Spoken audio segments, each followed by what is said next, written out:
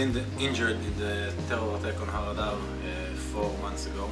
I got uh, to critical state with a hole in my shoulder and a hole in my chest. In those moments, I was I was sure I'm going to die. I bled out so fast I couldn't help myself. Uh, I lost all my energies in my body, and that was the moment I thought, this is where I die.